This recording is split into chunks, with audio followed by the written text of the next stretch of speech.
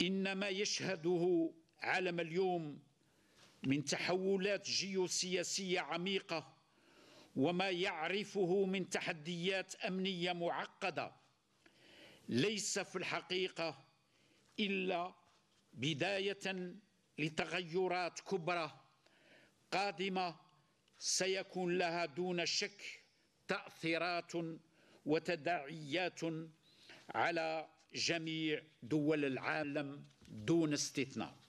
وإننا في الجيش الوطني الشعبي لا نشك إطلاقا في قدرات بلادنا تحت قيادة السيد عبد المجيد تبون رئيس الجمهورية القائد الأعلى للقوات المسلحة وزير الدفاع الوطني على اجتياز بنجاح امتحان التكيف مع هذه التداعيات والتأثيرات لا سيما من خلال إعادة بناء اقتصاد وطني قوي وتحقيق المزيد من الأمن الغذائي وكذا فيما يخص ترسيخ استقلالها الجيوستراتيجي.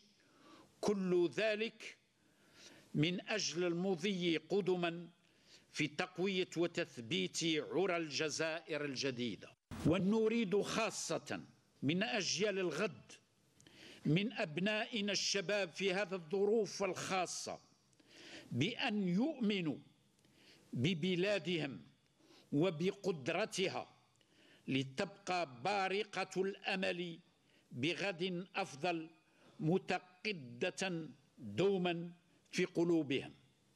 وتبقى معها شرارة حب التفوق المهني المبني على التنافس الشريف والنظيف تضيء عقولهم ونريد بأن يبقى وهج حب الجزائر والتضحيات في سبيلها بكل غال ونفيس ينير كافة النفوس والقلوب ويثير المشاعر ويلهب الوجدان. فعلى هذا النهج القويم سأحرص على مواصلة فتح أبواب التنافس الشريف بين الصفوة إطارات الجيش الوطني الشعبي على مصراعيه حيث لا يكون البقاء فيه إلا الأقدر والأصلح والأجدر وتمكين النخبة من تحمل المسؤوليات في كافة مناحي المهنة العسكرية وعلى كل المستويات القيادية.